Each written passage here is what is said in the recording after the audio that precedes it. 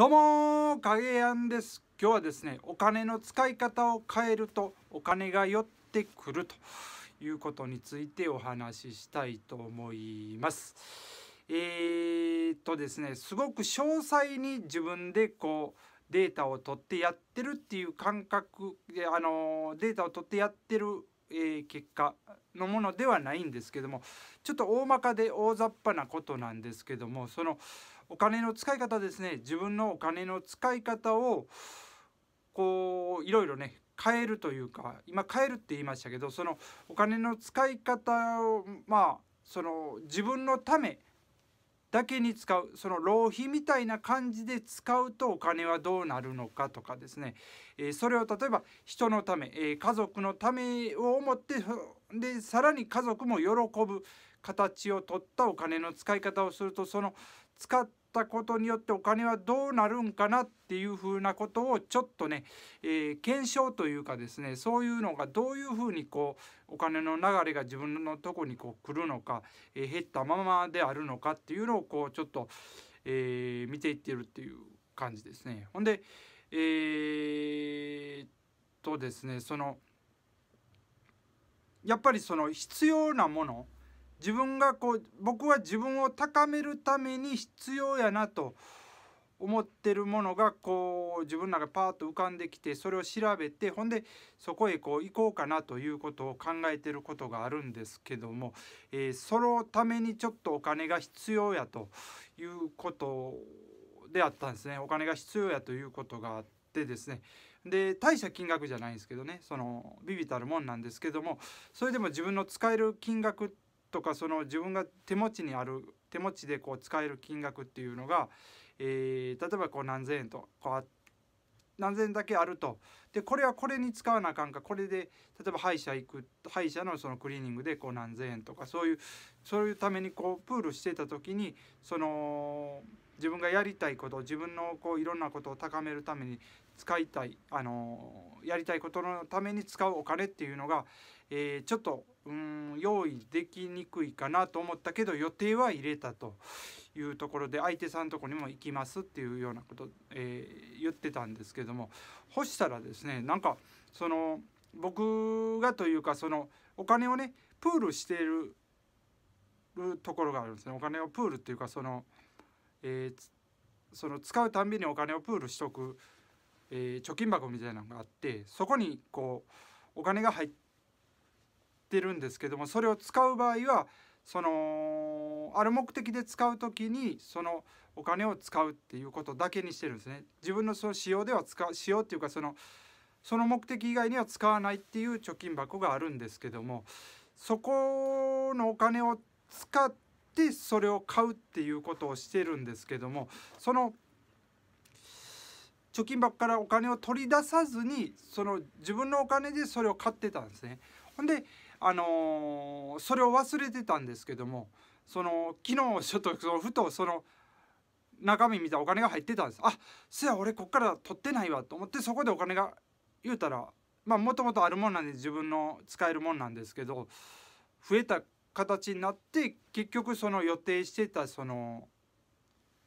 あの自分を高めるためにやることに、えー、お金が使えるなっていうことになってですねあれと思ってそのなもうじそれであ足りる状態になるんやっていうことになったんですね。まさかそんなまあ降って湧いたようなイメージなんですね僕の中でね。っていうことがこうあったんでそれはですねやっぱりその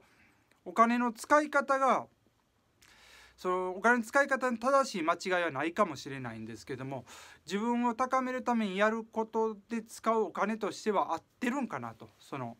合ってるその前へ進むためには合ってるお金の使い方やからお金が必要な分だけそ自分の、え、手持ちとして用意されるというかそのそういう状態になったんかなっていう風な感じをちょっと受けてるんですね。でちょっと1週間前もねなんかそのこれでこう休日にねこれで使ってこれをやってとかいろいろ考えたらちょうどその分のお金はこうある状態というかえそういうことがあったんですね。ほんでそのでよくよく考えるとその自分のその娯楽というかその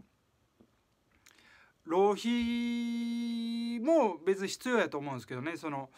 えーと、いろんな意味でそのここは浪費になるけどもそれによってみんながこうぐっとこう家族がですねそのまた次の1週間頑張ってやっていけるためのその食費の部分でちょっと贅沢をするとかでもあのいいと思うんです。それは家族も喜ぶしそういうお金の使い方はいいと思うんですけどもなんか自分のねなんかこう例えばこう自分がストレスがかかっててですね、え、そのストレスを発散したいがためにですね、え、人と会うようなことをするためにお金を使う。で人と会うために結構お金をこうまあ何千円か使うっていう使い方をするとですねそれはもうほんまの何て言うんですかね意味のない浪費というかほまあそうストレス解消できるように見えるんですけども根本のストレスを解消しないとそれは一時的にストレスを解消しただけなんでその根本解決にならない使い方ですよねその人と会ってそれでこう話聞いてもらってこう発散するっていうのはですねそのストレスのもとを、えー、なくすというかそう解決するための自分の行動をしてないのにそこで発散してるお金の使い方っていうのはやっぱりお金が減った状態のまんまになるいうふうに考えます。だからそれは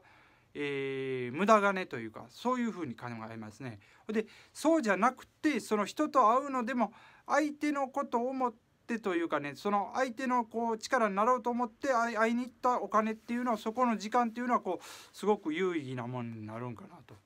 いうふうに感じてますね。だからそのなんかその自分がこういろんなストレスがかかってそれを悩みを聞いてもらうっていうこと自体があかんことではないんです。それはそれでいいんですけども根本解決に向かってやっていない。そういう努力もしてないのにそこその時のしんどさストレスのしんどさを解決あの解消するためだけに会う人と会ってっていうお金の使い方だとダメなんですよね。その根本解決をしながらこう試行錯誤して苦しんでるストレスによってそれをこうちょっと聞いてほしいっていう、え、お金の使い方それで人と会うお金の使い方であったら、え、大丈夫なんじゃないかなというところでですねその自分のお金の使い道そのそういうものをしっかりこう決めていく時にですねえー、もちろん自分でそれをこれでいいと思って決めてやっていけばいいんですけどもその使い方によってお金はこう寄ってくるというかそういう感覚が僕にあります。ただこれはこれからいろいろねそのお金の使い方っていうのをこう自分の中でいろいろとこうしっかりとこう考えてねもちろん浪費は浪費でいいと思うんですけどもそのしっかりと自分のこう軸を作りながらですね使っていってほんでお金の流れがどうなるかっていうのをこう見ていきたいなというふうに、えー、考えております。ということでですね、うん、お金の使い道を変えると、えー、お金が寄ってくると。いうことについてお話しさせていただきました。これはねもうちょっともうちょっとどんどんどんどん検証していかなあかんのですけどもどうなるかなっていうふうに思っておりますということで今日もよっしゃーでいきましょうどうもありがとうございます